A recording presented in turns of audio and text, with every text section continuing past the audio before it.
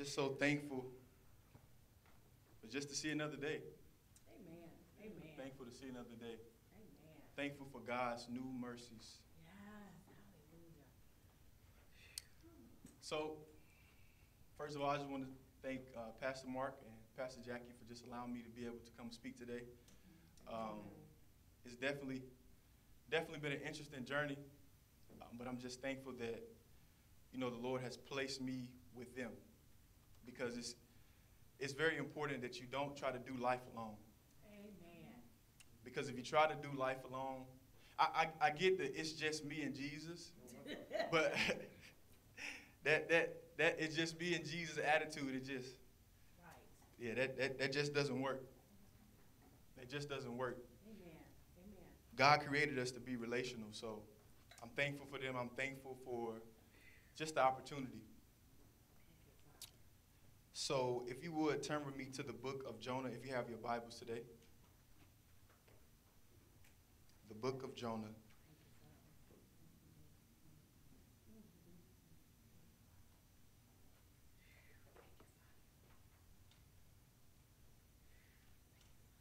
And I'll be reading from the ESV version.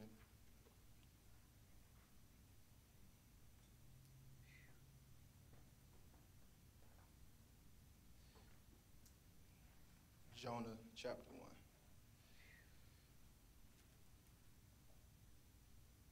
So, Father, we thank you for just allowing us to be able to come together. We ask, Lord, that you fill us afresh with the spirit of wisdom and revelation so that we may know you better. We ask that you reveal to us the hope that we have in you. We ask that you reveal to us the inheritance that you find in your people. And we thank you, Father, for the inexpressible power that we have on the inside of us, that same power that resurrected Jesus from the dead. And so, Father, we just come to you asking you to teach us, reveal to us what we need to know for this present moment and for this present time. In Jesus' name we pray. Amen. Amen. Amen. So, Jonah chapter 1, I'm going to read verses 1 through 6.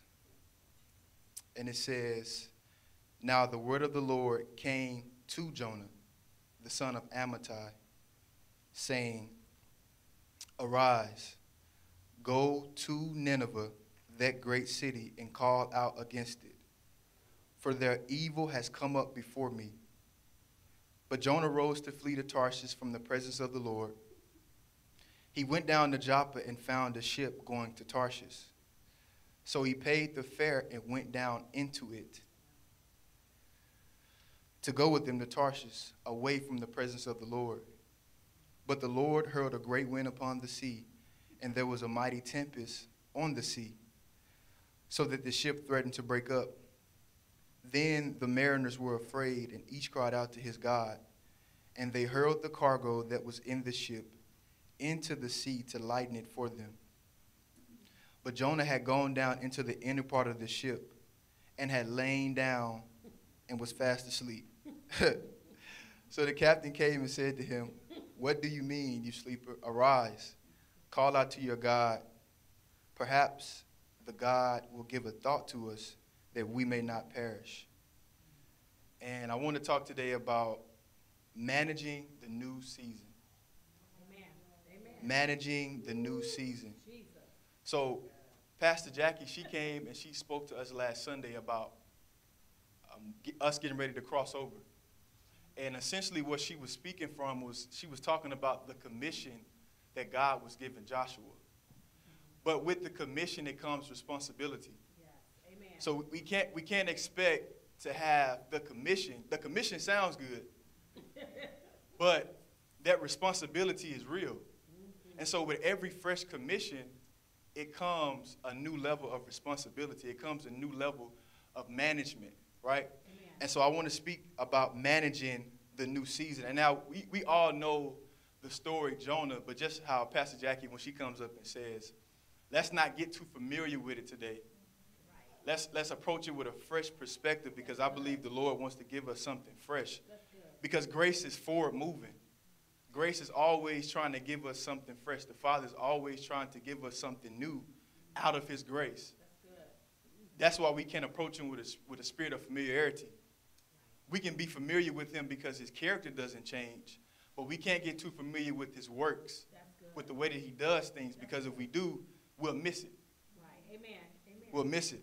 Amen. And so it says, Now the word of the Lord came to Jonah, the son of Amittai. Now it's interesting that it says the word of the Lord came to Jonah. That means the word didn't come from Jonah. And so because it didn't come from Jonah, that means he didn't create it. Well, Let me say that again. The word came to Jonah, right. so that means it didn't come from Jonah. And because it didn't come from Jonah, that means he didn't create it. So that means he can't approach the word with the entitled mindset. And so in this in this new season, some of us are already in that new season. Some of us are crossing over to this new season. But I'm so glad that God's principles they they stand wherever we're at. And so this this principle, this these these i this idea of stewardship is very important that we that we realize it. Because ultimately this was God's original intent when he created man. He created us to be overseers. He created us to be managers. He created us to be supervisors. So in this season, stewardship has to be very close to us. Because if stewardship isn't close to us, we'll act like it's ours. And when we act like it's ours, we won't do what we're supposed to do with it. Teach, teach, teach, teach. Teach. Teach. It's not hard. Stewardship. he talking, he talking to us all. Stewardship, stewardship is the idea of managing or overseeing all that God gives to us by his grace. A steward realizes that everything has been placed in front of them by grace, and through grace, they oversee it. A steward doesn't just manage money, they manage their relationships with their relationship with the Father, their relationship with themselves, then their relationship with others, their relationship with their resources, and, and let's take it a step further, their relationship with the season that they are in. So, so, so this means that everything that the Father has given to us, He intends for us to manage it. He, he intends for us to manage it. And it's a colloquialism for my age. I know I'm, everybody may not be in my generation, but there's a colloquialism that says, I got it out the mud, right? Some of y'all know about Kevin Gates. Some, some, yeah. Some of y'all, brother right here, he know about, okay. Okay. But see, the, the, the colloquialism of getting it out the mud, it means that you got it, you got it out the mud. You create, you got yourself, and you built yourself up by your own bootstraps. Nobody else helped you. Right. You self-made, Right. right? Right. Your family didn't help you. Your friends didn't help you. And if you thinking like that, you for sure saying God didn't help you. Right? So so so so this this idea is rooted this idea is rooted in entitlement. It- it's it's rooted in ownership. We aren't owners. It- it's nothing that God has it's nothing that we have in our life right now that we created. Right? So so in, so this co- this concept, this idea of stewardship is very important. And if you go to 1 Corinthians 15, verse 10, this is a great managerial statement. 1 Corinthians 15, verse 10. 1 Corinthians 15, verse 10. Let me go there. This is the Apostle Paul speaking, and he's giving us some insight on stewardship. He's giving us some insight on how to be a manager. And verse 10 it says, But by the grace of God, I am what I am. So already he's saying that he is defined by grace. People don't define him, his circumstances don't define him, his spouse doesn't define him, his friends doesn't define him, but he's defined by grace. grace defines him. He says, But by grace, by the grace of God, I am what I am. And his grace toward me was not in vain. Okay, so Paul realizes that he didn't get it out the mud. He, he, he realizes that he didn't do anything. But watch this. He says, On the contrary, I worked harder than any of them, though it was not I. But he says, I worked harder than any of them. So this means that, that, that just because we have grace, that doesn't mean that we don't oversee or work over what God has given us. That's good, that's right. Grace empowers us to work. We don't work for grace, we work because of grace. Yeah. right? We work because of grace. And it's, and it's very important that we all realize that grace is not a license to be lazy. Grace isn't, grace isn't a license to be lazy, right? So, so we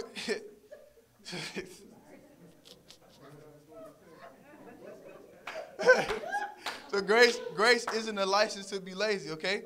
But watch this. He, he, he turns around and he says, I'm not defined by my work. I know I work, but I'm not defined by my work. I know I'm an athlete, but I'm not defined by being an athlete. He says, though it was not I, but the grace of God that is with me. So, this is a great managerial statement that Paul is trying to tell us and reveal to us. He's telling us and showing us that, okay, yes, the Lord is gracious, but that doesn't mean we don't work. But because we're working, that doesn't mean we get grace. God, God is gracious regardless of what we do.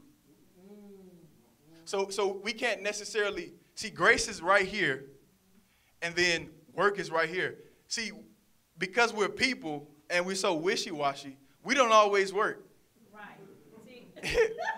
We don't, we don't, we don't always work, right? We don't, we don't always do what we're supposed to do, but God does. The Father does, and so we can't mix grace with our works, but we have to realize that grace is it empowers us to work. So a steward understands obedience.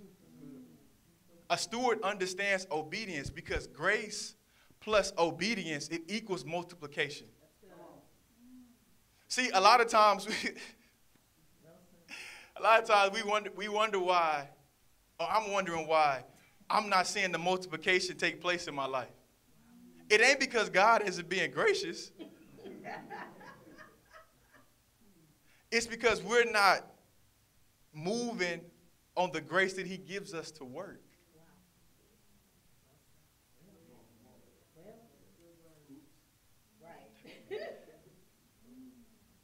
Am I managing my relationship with the Father? Am I managing my relationship with others? But first, am I managing my relationship with myself? Because if I can't, if I can't manage my relationship with myself, how can I expect to manage my relationship with others? Wow, wow, wow. The word didn't belong to Jonah. Right.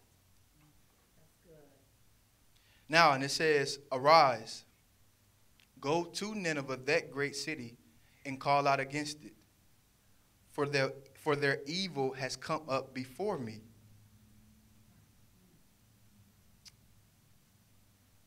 A steward is okay with going to a place of inconvenience. A steward is okay with going to a place of inconvenience, of dealing with a, per, a person that, get, that, that causes inconvenience, of dealing with a season that may feel inconvenient.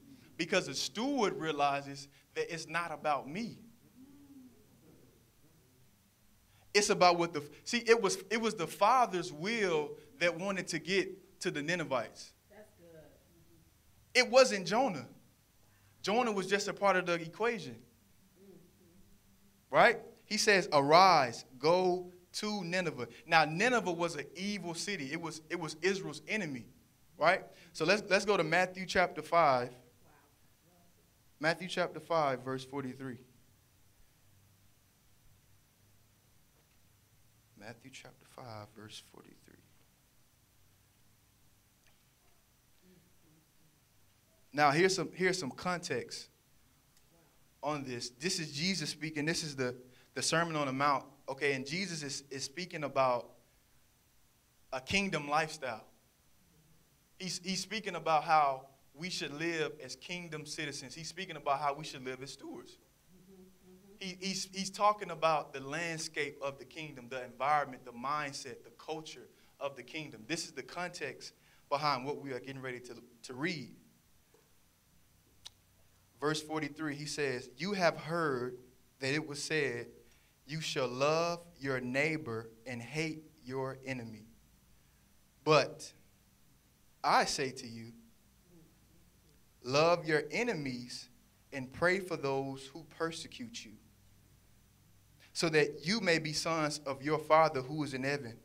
For he makes his sun rise on the evil and on the good, and sends rain on the just and on the unjust. For if you love those who love you, what reward do you have?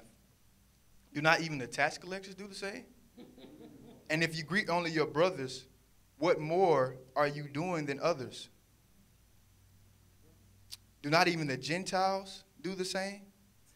You therefore must be perfect as your heavenly Father is perfect. He says, You have heard that it was said, You shall love your neighbor and hate your enemy. So he's trying to break down this mindset that says, I'm going to walk to things that are convenient to me.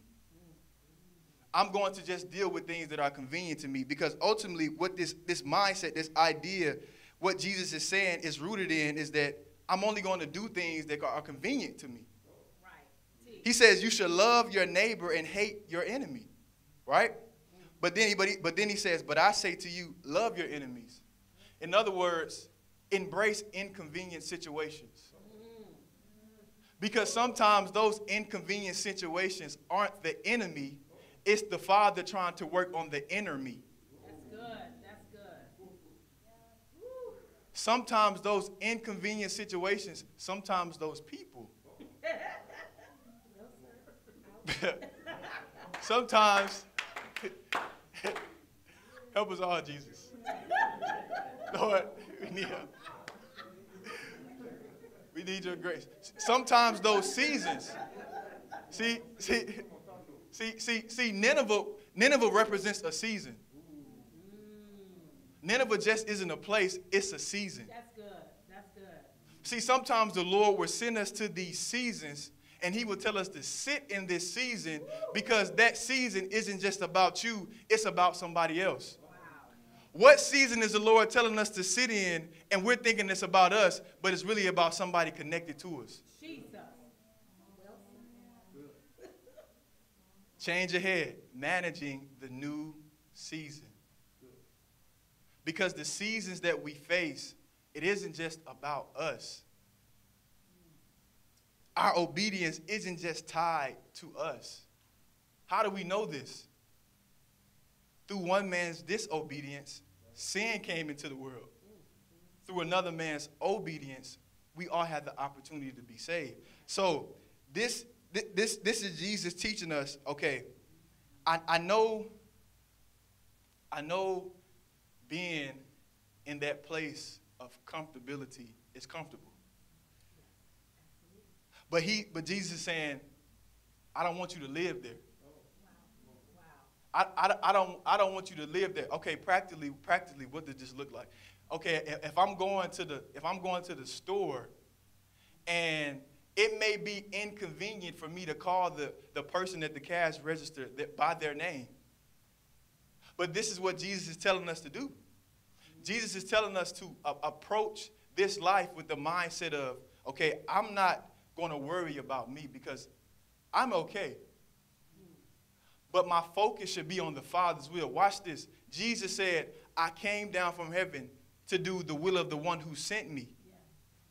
Meaning that it wasn't about people, it was about the Father's will, but the Father's will dealt with people. That's good. Yes, yes, yes. How many times are we putting the Father's will over people?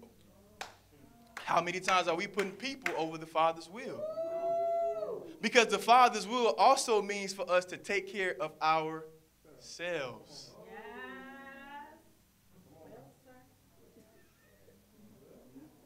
Stewardship. Stewardship.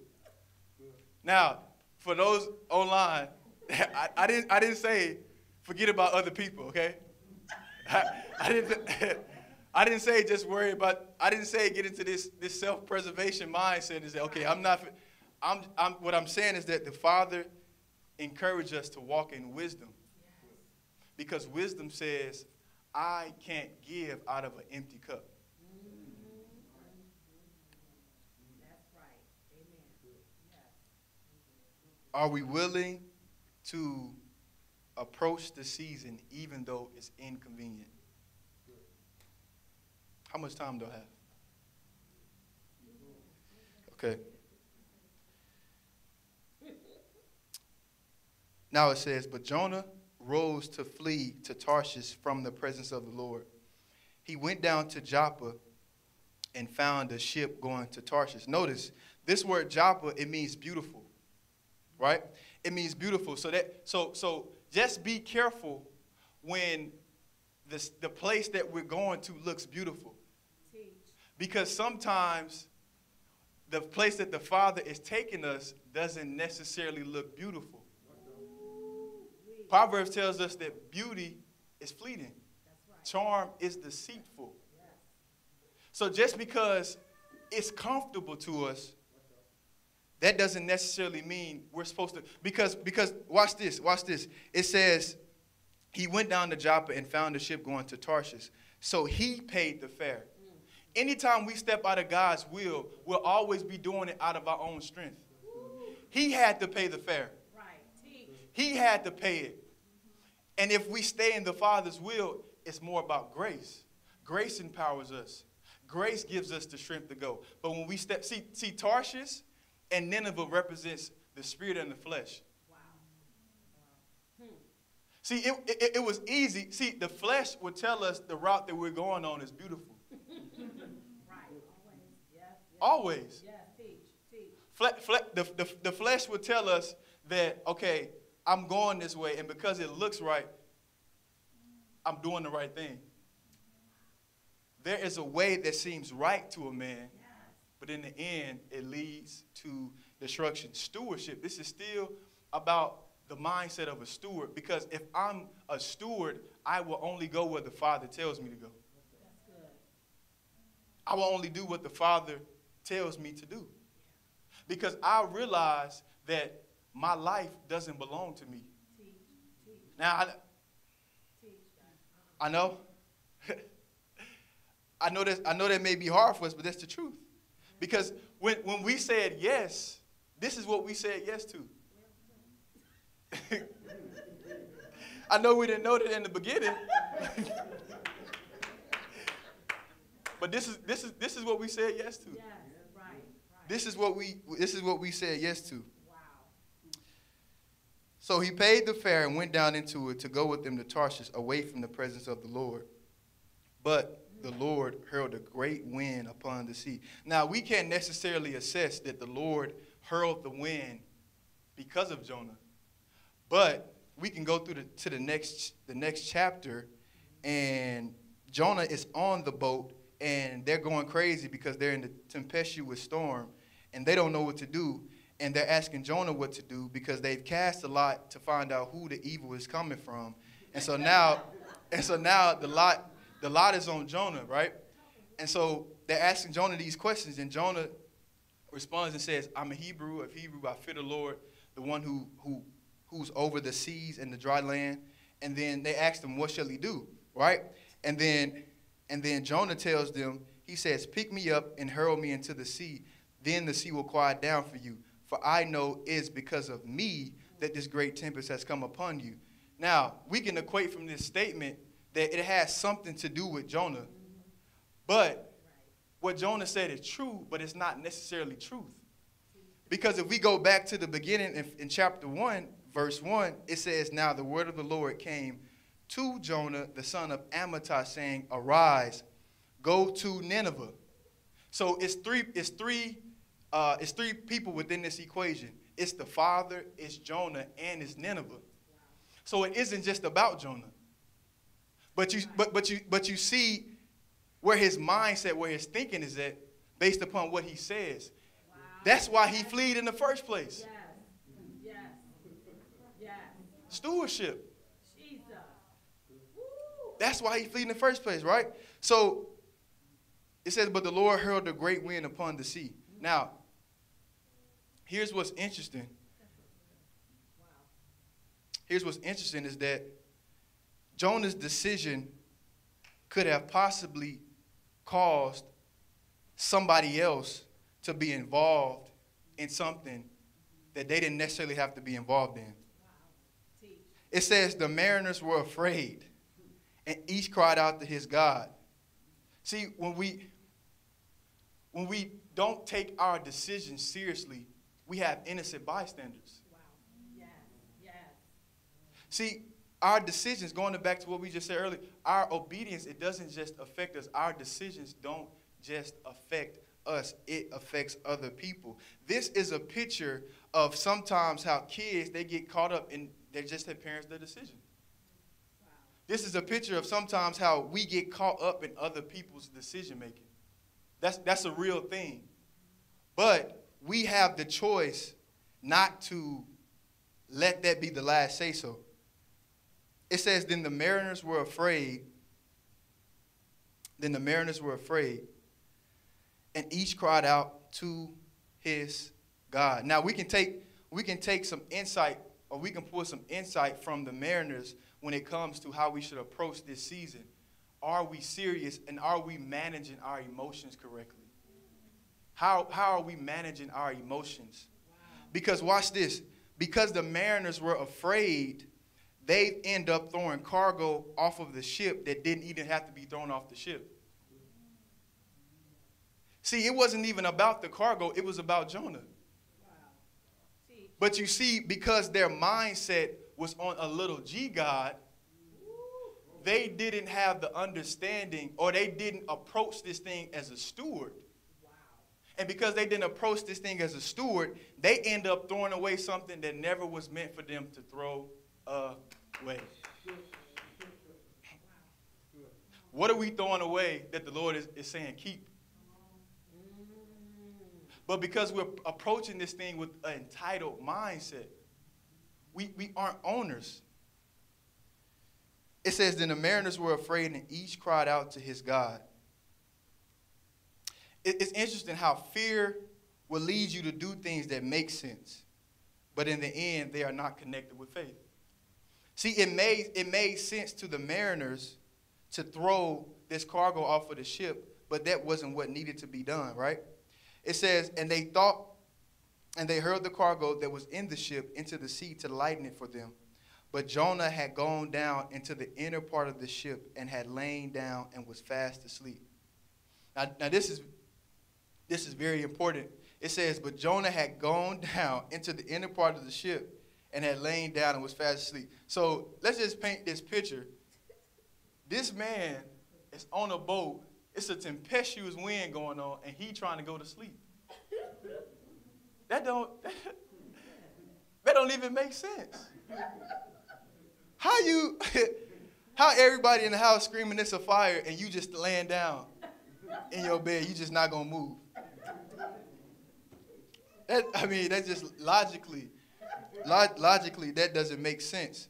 But but here's here's what's interesting is that sometimes we can co- confuse passivity for peace. See, you could look at this and say, okay, Jonah was asleep just like how Jesus was asleep. Right. But but Jesus was in a place of peace. Jonah was in a place of passivity. Passivity will cause you to be paralyzed. Because you are trying to you are trying to move based upon what you see. You're trying to move based upon what you feel. You're trying to move based upon what other people may see. Wow. The, the Lord's heart for us is to never be passive. But it isn't to be aggressive, but it's to be assertive. Assertive is that fine balance. See, peace does not lead us to pass. Really, really what, what passivity comes from, it comes from fear. What fear comes from is pride. What pride comes from is looking at myself. What looking at myself means is that I'm not walking by faith, I'm walking by sight. Stewardship. Stewardship. Am I taking my decision seriously? Am I taking my decision seriously? Managing the new season that we are in. We are all approaching a new season. Some of us are already in that season. So, so it's very important that we don't allow our souls to try to take us back to where God has brought us from. Right. Woo. Right. See, Because that's, that soul can get messy. see, John, come on. That, that's, that, that soul can try to take you back to those unhealthy memories. How am I managing the new season that I'm in? Here, here, here's, what's, here's what's interesting, too, is that there is a great rapper that I know by the name of C. Mighty. And, amen. Amen. and look, he prophesies to us about passivity. right. He teaches us about passivity, right? He says, okay, I'm back active. Right. He said, I made up my mind and I swear I'm done being passive. Watch this. He says, I made up my mind. That means in order for me to manage the new season, I have to manage my mind. That's it. Wilson.